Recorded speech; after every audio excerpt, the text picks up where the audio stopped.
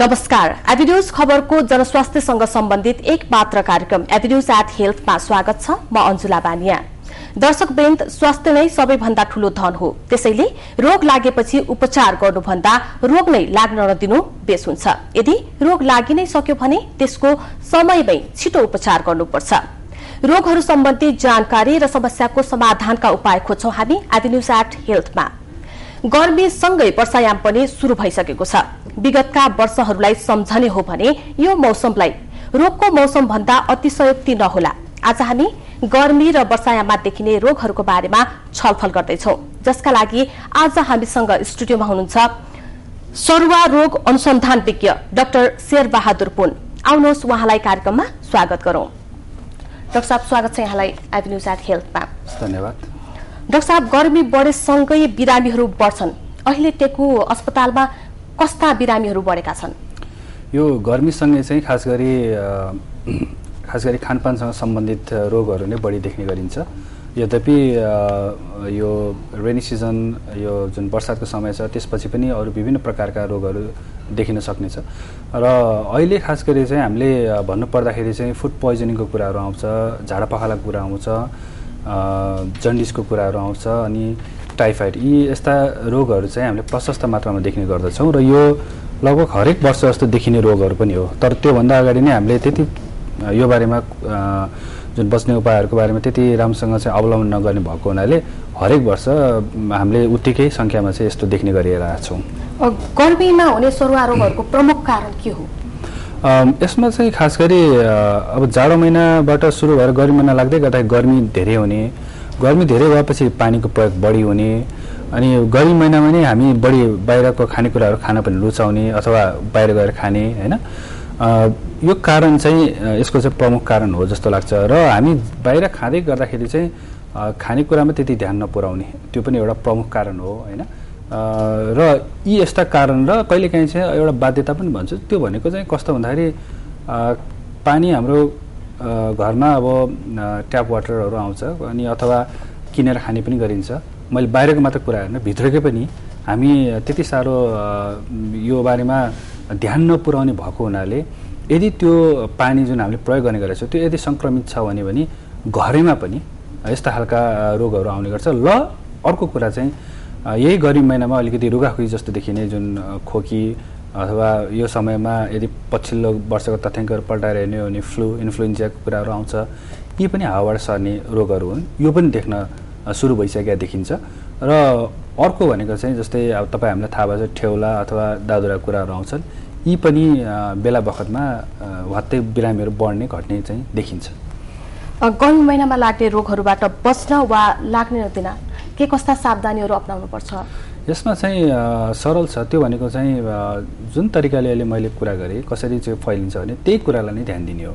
त्यो भनेको के गरे चाहिँ अब खानपान अब धेरै कुनै भोज भतेर छ भने हामीले चाहिँ धेरै खानेकुरा एकैचोटि पकाउने र त्यो राख्ने ठाउँ नहुने। अनि त्यो खाँदाखेरि चाहिँ धेरै व्यक्तिहरू अब सङ्क्रमित भएर बिरामी भएका कुराहरू पनि आउँछन्। जस्तै केही हप्ता अगाडि कुरा हो। धादिङको एउटा कुनै एउटा समारोहमा चाहिँ एकैपटक धेरै व्यक्तिहरूले खाँदाखेरि फुड पोइजनिङ भएर हाम्रो अस्पतालमा पचासजना जतिको उपचार भएर गएको थियो। यस्तै समस्या अरू विभिन्न नेपालको ठाउँहरूमा पनि होला। त्यो कारणले गर्दाखेरि एउटा त खानेकुरा भयो जुन चाहिँ हामीले या त पहिले नै बनाएर राख्छौँ या पाकिसकेपछि धेरै दिनसम्म खानेकुरा रहन्छ र त्यो राख्ने ठाउँ पनि हुँदैन र अनि त्यो खाने खाँदाखेरि चाहिँ यो आज एक दिन त हो भने जस्तो गर्दाखेरि मान्छेहरू बासी खानेकुराहरू त्यो भयो। र अर्को चाहिँ हामी अलिकति बाहिर जान्छौँ र जुन बजारभरि जुन बाटोमा जुन पकाएर खाइ बेचिरहेको हुन्छ त्यस्तो चिजहरू पनि हामीले त्यति ध्यान नपुगेर खाइरहेको हुन्छौँ। र अर्को कुरा पानीको कुरा आउँछ जुन पानीको एउटा स्रोत चाहिँ मुख्य हो। त्यसबाट खास गरी हामी बाहिर जाँदाखेरि खाँदाखेरि कतै रेस्टुरेन्टको कुराहरू आउँछ अथवा कतै अफिसको कुराहरू आउँछ त्यहाँ खाँदाखेरि पनि सकेसम्म त्यो पानी विश्वस्त तरिकाले यो ठिक हो स्वस्थ हो खान लायक छ भन्ने कुराहरू हामीले थाहा पाउनु पऱ्यो र पछिल्लो समयमा चाहिँ दुई वर्ष अगाडि चाहिँ मैले आफैले पनि अनुसन्धान गरेर हेर्दाखेरि यो जुन अहिले नयाँ जुन बोतलका वा पानीहरू भन्छौँ हामीले जुन जार अथवा किनेर खाने जुन पानीहरू छ अथवा ट्याङ्करको पानीहरू छ। यिनीहरू चाहिँ हामीले नउमालिकन खाँदाखेरि चाहिँ प्रशस्त मात्रामा हैजा फैलिएको हामीसँग अनुभव छ। त्यो भएको हुनाले चाहिँ हैजा छिटो फैलिने र यस्ता खा पानीबाट सर्ने भएको हुनाले अझ विशेष उपाय अप्नाउनु पर्ने हुन्छ। हजुरले भर्खर भन्नुभयो हैजा लाग्छ गर्मी महिनामा यो हैजा कस्तो खालको रोग हो?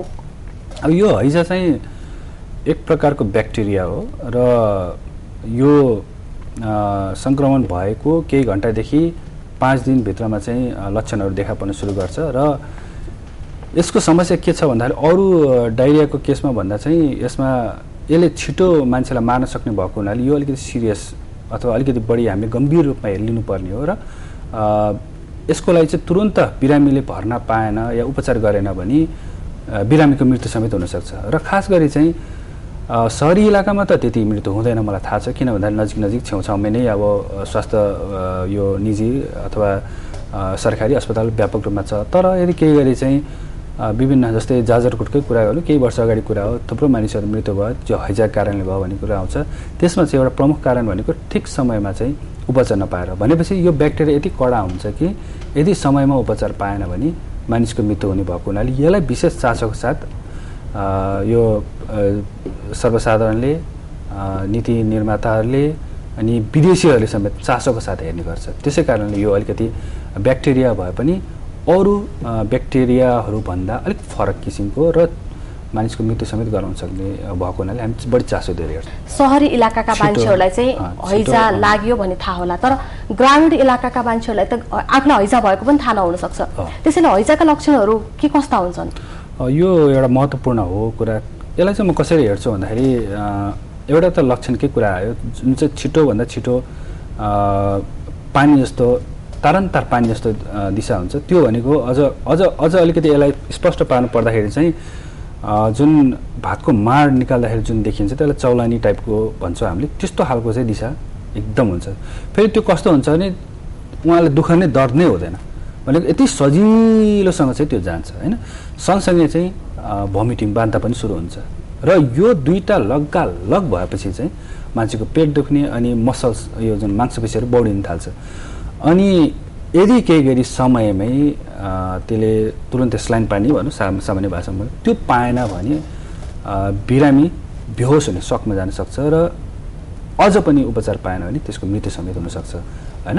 तर यो यतिमै चाहिँ रोकिँदैन। हामीले पहिचान गर्नको लागि यदि कुनै गाउँ अथवा काठमाडौँ बाहिरको अवस्थामा हो भने भने त त्यो इलाकामा हैजा फैलिरहेको छ छैन भन्ने कुराको समाचार पनि उनीहरूलाई थाहा हुनुपर्छ। ताकि यो हैजा हो भन्ने कुरा थाहा हुन्छ। उदाहरणको लागि एउटा ए भन्ने ठाउँमा चाहिँ हैजा फैलेको अवस्था छ र त्यो दिशा त्यस्तो खालको अहिले मैले जति पनि कुराहरू गरेँ त्यस्तो खालको दिशा देखिएको छ भने चाहिँ लगभग यो हैजा हुने सम्भावना बढी भएर जान्छ र हामी एकदम छिटो सतर्कता अप्नाउँछ हैजा सरुवा रोग भएको कारणले गर्दाखेरि पनि सतर्कता हुन्छ यति छिटो सर्छ कि अब त्यो गाउँघरमा त फेरि कस्तो हुन्छ पानी पजेर एकै ठाउँबाट धेरै गाउँको लाग्छ। त्यो ठाउँमा हैजा लागेको मान्छेको दिशा पर्यो मात्र भने पनि लगभग गाउँ नै यसबाट प्रभावित हुनसक्छ। र धेरैभन्दा धेरै मान्छेको समयमै उपचार पाएन मृत्यु समेत हुनसक्छ। तसर्थ यो त्यति सिरियस हो र यसलाई चाहिँ सबैले अलिकति बढी सतर्कता साथ हेर्नु पनि पर्छ जस्तो लाग्छ। र हामीले चाहिँ त्यसमा अलिकति सचेतना अप्नाउनु पर्ने हैजा र यो रक्त समूह बिच पनि केही सम्बन्ध छ? विभिन्न अनुसन्धानहरू चलेको छ यसमा र गरेको पनि छ। यसमा चाहिँ सामान्यतया एउटा रिसर्चले के देखाएको छ भन्दाखेरि ओ पोजिटिभ भएको बिरामीहरूलाई अलिक बढी कडा हैजा लाग्न सक्छ भन्ने कुराहरू छ होइन? त्यो देखाएको हुनाले चाहिँ यी यो रोग भएका अथवा सरी यो ब्लड ग्रुप भएका जो बिरामीहरू छ उहाँलाई सङ्क्रमणको अलिकति शङ्का लाग्यो भने सकेसम्म छिटो चाहिँ स्वास्थ्य केन्द्रसम्म या चिकित्सकको सम्पर्कमा रहन चाहिँ आवश्यक यद्यपि यद्यपि अरू ग्रुपलाई चाहिँ त्यस्तो नहुने भन्ने त होइन तर ती व्यक्ति अझ बढी चनाखो हुनुपर्छ अझ बढी चाहिँ यो बारेमा ध्यान दिनुपर्छ भन्ने चाहिँ त्यो अनुसन्धानको निर्क्योलहरूले चाहिँ देखाएको छ। त्यसमा चाहिँ हामीले त्यो एउटा चाहिँ हाम्रो लागि अलिकति एउटा एडभान्टेज अथवा त्यो थाहा पायो भने चाहिँ त्यो एउटा एउटा राम्रो सुझाव चाहिँ हो हाम्रो लागि। तर यो भन्दै गर्दाखेरि चाहिँ होइन अब मेरो ओ पोजिटिभ छैन मलाई त केही हुँदैन भने अरू चाहिँ फेरि ढुक्क भएर हिँड्ने कुरा चाहिँ आउँदैन त्यसमा। यो कडा खालको हैजा भनेको कस्तो हैजा? कडा खालको किन भने भन्दाखेरि धन्य असी प्रतिशतका हाराहारीमा सङ्क्रमित भए तापनि मानिसहरूलाई लक्षण देखिँदैन। र बिसमा पनि एकदम कमलाई मात्र देखिने हुन्छ। त्यसै कारणले यसलाई चाहिँ धेरैभन्दा धेरै व्यक्तिहरू चाहिँ खुल्ला रूपमा चाहिँ घुमिरहेको हुनसक्छ र मेरो एउटा चाहिँ कन्सर्न के छ भन्दाखेरि हुन त यो त्यति कुरा चर्चामा हुँदैन। एउटा सङ्क्रमित व्यक्तिले कम्तीमा नि धन्य दस दिनसम्ममा यो ब्याक्टेरिया आफ्नो दिशाबाट बाहिर वातावरण फैलाइरहेको हुन्छ भनेपछि लक्षण नदेखेको व्यक्तिले त फैलाउन सक्ने भयो ती त स्वास्थ्य केन्द्रसम्म नआउने भयो। त्यसर्थ यिनीहरू चाहिँ फैलाउन सक्ने सम्भावना भएका व्यक्तिहरू हुन् र उहाँहरूले चाहिँ विशेष ध्यान पुऱ्याउनु पर्ने हुन्छ। जस्तै ओ पोजिटिभ जोखिमपूर्ण रक्त समूह भएका मानिसहरूलाई यो रोग लाग्ने नदिन र सावधानी अप्नाउन के कस्ता उपायहरू अप्नाउनु पर्छ उहाँहरूले त अब यसमा म अलिकति अलिक फरक तरिकाले भन्छु। सबैलाई नै उत्तिकै आवश्यक पर्छ तर यदि आफ्नो रक्त समूह त्यो हो भन्ने पहिचान अब सबैलाई आफूलाई थाहा छ भने भने त्यो समयमा हैजा फैलिरहेको अवस्था छ र आफ्नो गाउँठाउँमा छ भन्यो भने कुनै पनि प्रकारको यो पखाला लाए तापनि सबैलाई त मैले भने जस्तो कडा त हुँदैन। मतलब ताडन्ता अथवा एकदमै झाडाबान्ता नै हुन्छ भन्ने छैन। कति त अझ लक्षणविहीन पनि हुँदो रहेछ। अथवा कोही चाहिँ सामान्य रूपमा झाडा पखाला लाग्छ त्यसपछि दबाई खाएर बस्छ। भनेपछि ती व्यक्तिहरूले कुनै पनि प्रकारको डाइरिया भएमा अथवा पखाला लागेमा चाहिँ चिकित्साको सम्भावना जस्तै जोखिमपूर्ण रक्त समूह भएका वा जोखिम नभएका रक्त समूह भएका मानिसहरूले हैजाबाट बस्न के कस्ता सावधानीहरू अप्नाउनु पर्ला? अब यसमा चाहिँ सबभन्दा मेन कुरा त पानी नै हो किन भन्दा पानी यति द्रुत गतिमा फैलिन्छ कि यो एकैपटकमा गाउँ नै प्रभावित हुन्छ भन्ने कुराहरू भने। अब गाउँमा हो भने चाहिँ मूल पानीलाई एकदमै यो कडा रूपमा चाहिँ कसैलाई त्यस्तो झाडा पखाल लाग्यो भने त्यहाँ नजिक जानै नदिने उसलाई घरमै राख्ने र उसलाई सकेसम्म पानी लिन पनि नपठाउने। किनभने त्यो यदि केही गरी चाहिँ सोर्समा स्रोतमा हैजा फैलिएमा सबैलाई सर्न सक्ने सम्भावना हुन्छ। अर्को कुरा पानी जहिले पनि हामी उमालेर खाउँ। मेरो जहिले पनि भनाइ त्यही छ। र पानी उमालेर खाँदाखेरि चाहिँ सय डिग्री पुग नपुग्दै यो हैजाका जुन ब्याक्टेरिया छ त मरिहाल्छ। त्यसले गर्दा हामी त्यो मात्र होइन अरू कुनै कारण कुनै अरू ब्याक्टेरिया अथवा भाइरसहरू छ भने पनि त्यो निर्मूलीकरण हुन्छ। र त्यसमा हामी विशेष चासो लिउँ। र यदि केही गरी अब अहिलेको अलिकति हाम्रो जीवनस्तर बद्लिँदैछ। जीवनस्तर बद्लिँदै गर्दाखेरि एउटा बाध्यता एउटा आवश्यकता अथवा एउटा चाहिँ सुविधाको कारणले गर्दाखेरि अहिले किनेर खाने चलन बढी छ बाध्यता यो मानेमा कि अब धारामा पानी नै आउँदैन के भने अब किनेर त खानु पऱ्यो त्यो बाध्यता एउटा। अर्को के छ भन्दा होइन सजिलो छ किनेर खाएको पानी त कहाँ केही गर्नै पर्दैन उमालेर पनि खानु पर्दैन मजाले पिउन सकिन्छ एउटा त्यो छ। अर्को अब अलिकति सुविधाजनक छ। मतलब केही त्यस्तो गर्नु पर्दैन कसैले ल्याउँछ खाने मात्र हो भन्ने कुरा हो। भनेको मतलब कुनै पनि कारणले गर्दाखेरि अहिले हाम्रो यो किन चार पाँच वर्ष अगाडिसम्म त्यति अथवा पाँच छ वर्ष अगाडिसम्म त्यति प्रचलन थिएन यो जारको पानी खाने अथवा मैले जारको पानी भन्दै गर्दाखेरि चाहिँ फ्याक्ट्रीबाट आएको पानीलाई मैले भनिरहेको छैन। जुन चाहिँ अलिकति अनियमित तरिकाले सिलबन्दी गरेर थाहा नपाएको ब्रान्ड नभएको पानीलाई मैले उल्लेख गर्दैछु। त्यस्ता खालका पानीहरूमा चाहिँ हामीले अलिक विशेष ध्यान पुऱ्याऊ। यदि के गरे फ्याक्ट्रीबाट राम्रोसँग आएको भने त ठिक छ। तर जथाभावी चाहिँ पानी चाहिँ यादै नगरिकन किनेर खान थाल्यो भने चाहिँ त्यसले चाहिँ हैजा फैलाउने सम्भावना हुन्छ। उदाहरणको लागि गत वर्ष चाहिँ एउटा यो जुन जारबाट खाइरहेको पानीको एउटा सानो अनुसन्धान गरेको थियो जनस्वास्थ्यले। त्यो गर्दाखेरि चाहिँ ट्याङ्करबाट सिधै ल्याएर पसलले चाहिँ त्यसलाई त्यही सिलबन्दी गरेर बेच्दो रहेछ। यसले गर्दाखेरि चाहिँ ललितपुरमा गत वर्ष धेरै काठमाडौँ भन्दा पनि डबलै थियो होला। त्यहाँ हैजा फैलिएको चाहिँ कारण पत्ता लगाएको थियो। त्यो कारणले गर्दाखेरि चाहिँ अब हामी सबै कुरामा विश्वास गरी चाहिँ नहालौँ। हामी अलिक विशेष चासो पनि दिउँ। र त्यसले यदि हामीले त्यस्तो विशेष चासो दिन थाल्यो भने त्यसले चाहिँ धेरै कुराहरू मतलब हैजा लगायतका जति पनि झाडा पखाला र टाइफोइड या जन्डिसका कुराहरू छन् यसबाट चाहिँ हामी सहर चाहिँ बच्न सक्छौँ। र त्यसबारेमा चाहिँ अलिकति जो कोहीले पनि ध्यान पुऱ्याउनु पर्ने चाहिँ हुन्छ। अझ जारको पानी त हामी नउमाली पनि नउमालिकन पनि खाइन्छ। अब यही छ। हाम्रो चाहिँ यो भनेको त जारको पानी भनेको त कहाँ उमाल्ने सजिलो छ। अब मेरो यो कुराको प्रसङ्गमा चाहिँ कतिसम्म भने मानिसहरूले उमाले खायो खायो भने त मिठै हुँदैन पानी भन्ने पनि छन्। अब त्यहाँ मैले भन्नु केही पनि छैन। तर मेरो एउटा भनाइ यति हो कि बिरो छैन भने रोग चाहिँ आफैले ननिम्त्याउ। धेरैको एउटा चाहिँ त्यस्तो छ होइन? त्यो पनि एउटा राम्रो चाहिँ होइन। कति चाहिँ बाध्यता छ? बिचरा यो जुन लेबर काम गर्नेहरू छ उहाँहरूसँग त टाइमै छैन। अनि किन्यो खायो सर अब हामीले कहाँ उमाल्ने के गर्ने पैसाको कुराहरू आउँछ। यस्तो समस्याहरू चाहिँ आफ्नो ठाउँमा छ। तर हामीले यो यति समस्याहरू हुँदै गर्दाखेरि भन्दै गर्दाखेरि हामीले सधैँ भन्ने गरेको त्यही पनि पानी उमालेर खानुहोस् अथवा निर्मलीकरण गरेर खानुहोस् ताकि हैजा चाहिँ अब लाग्ने त लाग्छ अझ त्यसबाट अरूलाई सर्ने सम्भावना रह्यो। त्यो समेत रोकिन्छ। गरिबी र चेतना नहुनु पनि एउटा हैजाको एउटा कारण हो। अब यो खालि हात र यो नधोएर मात्र भन्ने छैन यहाँ। अरू अरू कारण पनि छ। जुन लुकेको कारण छ जुन हामी कहिले पनि चर्चामा ल्याउँदैनौँ। बाध्यता छ कतिको। कतिलाई त मैले कुराकानी गर्दाखेरि पानी उमालेर खानुहोस् भन्दाखेरि मैले हामीसँग ग्या तरकारी खानेकुरा पकाउने त अब ग्यास किन्ने पैसा छैन हामी कसरी उमाल्ने भन्ने छ। अब यो बाध्यतालाई कसरी एड्रेस गर्ने त्यो पनि एउटा छ। त्यो चाहिँ मैले यो अन्तर्क्रियाको क्रममा थाहा पाएको। यस्ता खालका नयाँ नयाँ च्यालेन्ज नयाँ नयाँ चिजहरू आउँदैछ। ठिक छ अब हात तपाईँ हामीले पखाल्छौँ होइन?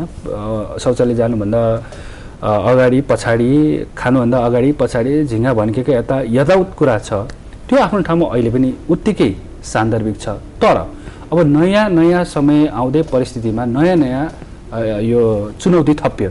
र एउटा चुनौती चाहिँ मैले देखेको भनेको अहिले मजाले जुन पानीहरू किन्दै खाने गरेको छु पूर्ण रूपमा त्यसमा विश्वस्त नहो र अलिकति चनाखो हौँ भन्ने चाहिँ म छ। हैजाको ब्याक्टेरिया जुन हुन्छ एउटै किसिमको हुन्छ कि विभिन्न प्रकारको हुन्छ? अब हैजाको विभिन्न प्रकारहरू त हुन्छ नि तर अहिले हामीले जति पनि कुरा गर्छौँ एउटा एज समष्टिगत रूपमा चाहिँ हैजा नै भन्छ। तर हैजाभित्र पनि सेरोटाइप भन्छ ओगावा इनावा हिकोजीमा भन्छ होइन हिकोजी।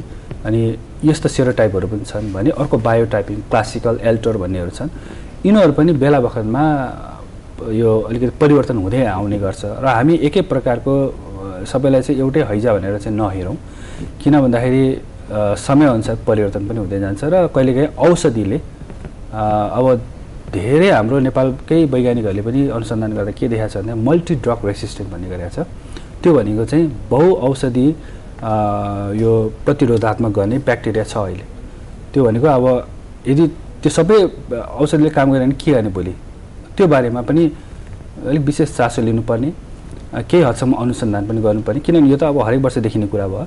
अनुसन्धानलाई पनि अगाडि बढाउनुपर्छ। यो चाहिँ मेरो विशेष अब आग्रह हो सम्बन्धित निकाय अथवा जो कोहीले गरिरहेछ।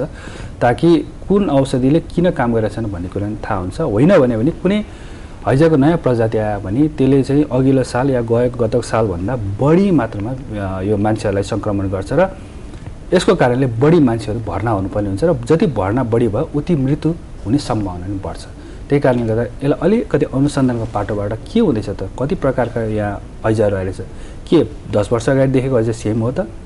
के त्यही हैजाको प्रकृति अथवा प्रजातिले यो हाम्रो चलाइरहेको औषधिले केही अप्ठ्यारो बनाएको छैन?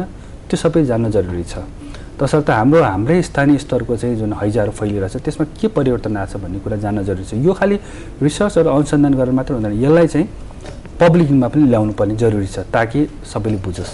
हैजाको भर्खर भन्नुभयो धेरै प्रकारहरू। त्यो मध्ये सबैभन्दा कडा कुन हो र नेपालमा देखिने सबैभन्दा बेसी देखिने प्रकार कुन हो? अब अहिलेसम्म चाहिँ के भनाइ छ भन्दाखेरि हैजा लगभग एकै प्रकारको आइरहेछ त्यो भनेको एउटै टाइपको ओगावा भन्ने एउटा सेरो टाइप छ अनि बायो टाइप भन्ने एल्टर भन्ने छ। त्यो अलिकति त्यसमा कुनै परिवर्तन आएको चाहिँ देखिँदैन। यद्यपि दुई हजार बाह्र सालमा चाहिँ मैले नै अनुसन्धान गर्दाखेरि अलिकति बायो टाइपमा कतै चेन्ज आयो कि भन्ने चाहिँ छ। अब यो बारेमा चाहिँ हामीले सोच्नुपर्ने हुन्छ। भौगोलिक हिसाबमा अथवा वातावरणीय हिसाबले भन्नुपर्दा नेपालको कुन चाहिँ भेगमा चाहिँ बढी हैजाको प्रकोप देखिएको छ अहिलेसम्म? अब अहिलेसम्म चाहिँ अचम्म छ। यो काठमाडौँमै बढी देखिया छ। अब जनघनत्व कुरा होला अब पानीको समस्या कुरा होला अनि अब ढलको राम्रोसँग चाहिँ ऊ नभएको होला होइन व्यवस्थित नभएको होला। त्यो कारणले गर्दाखेरि चाहिँ ढल खानेपानी मान्छेको चाहिँ यो जुन एकदम धेरै यो क्राउड भनौँ यो हुल यो भएको हुनाले सायद काठमाडौँमा बढी फोकस भयो होला। तर काठमाडौँमा एउटा चाहिँ लक्कीली भन्नु धेरै चाहिँ यो स्वास्थ्य संस्थाहरू अस्पताल भएको हुनाले मृत्यु चाहिँ मैले त्यति सम्भव देख्दिनँ। तर समस्या के छ भन्दा यदि यस्तै कुरा जत दुई हजार नौ सालमा जसरी जाजकोटमा फैल्यो र मान्छेहरू धेरैको मृत्यु भयो त्यस्तै केही गाउँ गाउँ गयो भने त्यो गाउँको जुन बाटोहरू छ नि हैजा त केही घन्टा मानिसलाई मृत्यु समेत गराउँछ भनेपछि त्यो ठाउँमा गएर हैजा फैलेको अवस्था छ भने चाहिँ त्यहाँनिर ठुलो समस्या देखिन्छ।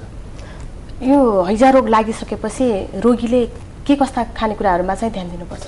अब हैजा अरू सामान्य झाडापखाला जस्तै हो सबभन्दा बढी त जीवनजलै खान सक्ने हो भने हो। तर यसमा समस्या के छ भने जीवनजल खान अलिकति गाह्रो हुन्छ। डाइरिया सँगसँगै चाहिँ भोमिटिङ पनि सँगै आइदिनु भएको हुनाले त्यो खान सक्दैन। र मेरो विचारमा चाहिँ के खाने र के नखाने भन्दा पनि उहाँ चाहिँ भर्ना भएर नै उपचार गरेको राम्रो हुन्छ यदि कडा खाएको छ भने अब लक्षण बिन छ भने त अब सामान्य औषधि खान्छ र अनि विशेष गरी झोलिलो खानेकुराहरू खाएर निको पनि हुन्छ। कडा भयो भने त अब यो घरमा बस्ने कुरै छैन। गर्मी याममा लाग्ने रोगहरूमध्ये झाडा पखाला पनि एक भर्खरै भन्नुभयो। झाडा पखालालाई रोग मान्ने कि लक्षण मान्ने?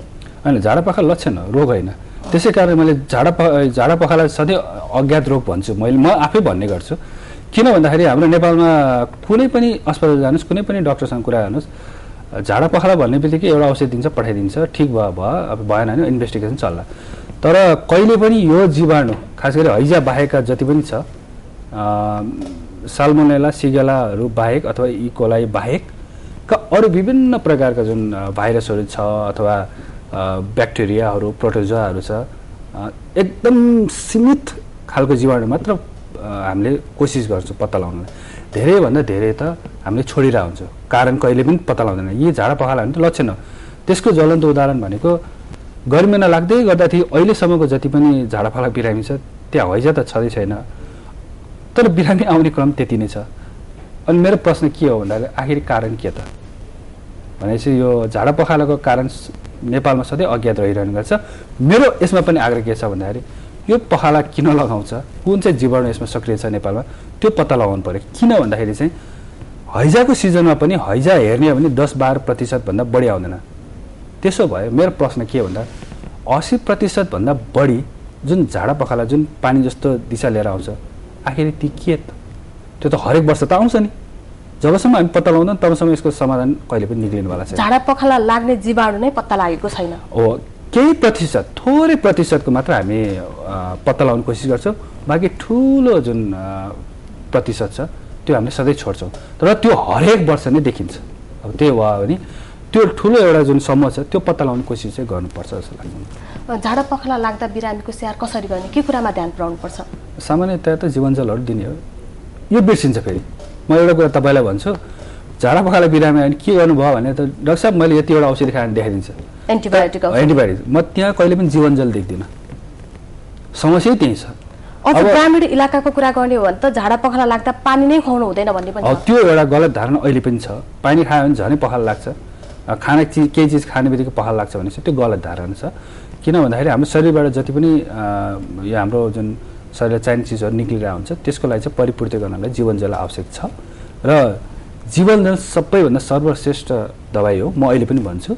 यो कुनै एकदम ठुल्ठुलो एन्टिबायोटिक खाँदैमा निको एकदम म भइहाल्छु भन्ने होइन हो। त्यसले केही जीवाणुहरूलाई केही हदसम्ममा कम गर्ला। तर पनि शरीरलाई चाहिने त्यसै कारणले पनि भन्ने होला। हामी सानसानो हुँदा सुनिन्थ्यो जीवनजल भनेको अमृत जल यो अमृतै हो। अहिले पनि म भन्छु। तर बिस्तारै मान्छेलाई अलिक बिर्सिनु खोजिआयो कि जस्तो लाग्छ। यसको लागि चाहिँ एडभर्टाइजहरू पनि विज्ञापनहरू पनि विभिन्न समयमा बजाउनु पर्ने जरुरी छ। मैले अहिले देखाएको छु। कुनै समयमा एकदम लगालग बस्थ्यो। अहिले यो बज्न छोडेको छ। मान्छेले बिर्सि पनि सक्यो अनि राम्रो हेर्दा टिलिक्क टल्किने खाले एन्टिबायोटिक चाहिँ खुब खोजी खोजी खाइरहेको हुन्छ र अब पसलमा गयो भने त अब जीवनजलको सस्तो अब त्यो अलिक महँगो हुन्छ। अब त्यही बढी नै प्रयोग गर्ने गरेका छ। हामी त्यतातिर बढी ध्यान दिइरहेछौँ। त्योभन्दा बढी चाहिँ जीवनजल एकदमै राम्रो औषधि। अझ जीवनजल बाहेक घरेलु उपचार केही होला नि? अब नुन चिनी पानी बनाउने हो पहिला पहिला सुनिने गरिन्थ्यो। तर नुन चिनी पानीको पनि अलिक एकुरेट त्यति नमिल्ने भएको हुनाले जीवनजल नै सबैभन्दा प्राथमिक प्राथमिकता म दिन चाहन्छु। झाडा पखला लाग्न नदिन वा झाडा पखलाबाट बस्न। ती जीवनजल अथवा घरेलु उपचार गर्यो भने रोगी चाहिँ अस्पतालसम्म पुग्न नपर्ने हो। सम्भावना बढी हुन्छ। अथवा त्यो खायो भने अस्पतालमा गए तापनि छिटो स्वास्थ्य लाभ गर्न चाहिँ मद्दत पुऱ्याउँछ त्यसले। गर्मी महिनामा विशेष गरी बेसी रोगहरू लाग्छ। हाम्रो नेपालमा सरसफाइ र चेतनाको कमी छ। अझ झाडा पखला अथवा हैजा यस्तो लगाउँदाखेरि पानी खान हुँदैन झोलिलो पदार्थहरू खान हुँदैन भन्ने मान्यता छ। यस्तो मान्यताहरूलाई चिर्न हजुरले के सुझाव दिन चाहनुहुन्छ? यसको लागि चाहिँ व्यापक अब अभियान नै छाल्नुपर्छ। अब विडम्बना के छ भन्दाखेरि एक्काइसौँ शताब्दीमा आएर अहिले पनि हैजा हुन त हैजा त अब अहिले पनि अफ्रिकातिर फैलिएर थुप्रो व्यक्तिहरूको मृत्यु भइरहेको खबर पनि अहिले आइरहेछ। तर यो विडम्बना हो। खास गरी चाहिँ पानीबाट यो कुनै पनि झाडा पखाला लगायत हैजाहरू फैलिनु त्यो पनि थाहा हुँदा हुँदै हरेक वर्ष देखिनु त्यो एकदम विडम्बनापूर्ण हो। र यो एक्काइसौँ शताब्दीमा जब कि हामीले चाह्यो भने त्यो निर्मूल गर्न सक्छौँ। अब यसमा मेरो विचारमा जनचेतना त यसै पनि कन्टिन्यू चाहिन्छ फेरि। यो अलिकति केही समय र पछि अनि छोड्ने भन्ने कुरै आउँदैन। यसलाई चाहिँ लगालग चाहिन्छ। जीवनजलको जुन एडभर्टाइज जुन विज्ञापन छ त्यसलाई रोक्नु हुँदैन।